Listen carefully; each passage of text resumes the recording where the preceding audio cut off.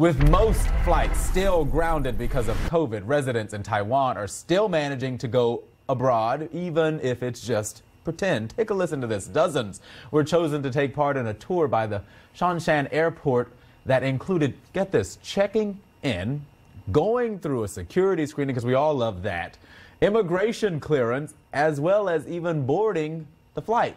Thing is, that flight was fake. A series of renovations and expansions were completed last year, and the tour takers were the first to experience those upgrades. And in case you were wondering, there was no in flight meal.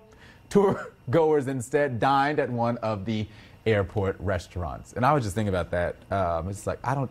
I don't know how comfortable I am mm-hmm. with flying, but then I think about, I mean, airplanes have probably the best filtration systems right. around. If you can go in a grocery store, I feel like you could probably walk in an airport and get on a plane. It's just being in that confined space. I'm not sure if I'm ready yet, but you know, time will come. Time ah. will tell. We'll see how it goes. Yes. Well, I think we're all looking forward just to get away from the humidity. Listen. Uh-huh. I was saying, wouldn't it I'll be so that, nice Brendan. to go somewhere north? The I don't know, the Rockies, the the Great Lakes, something. You somewhere. got a Jeep? Let's go. I, you know what? We can. We can pile in the car, socially distance. You can ride behind me, and we'll, we'll head off somewhere in lower humidity. we're, we're going to have to travel far for it, though. It's humidity all across the east.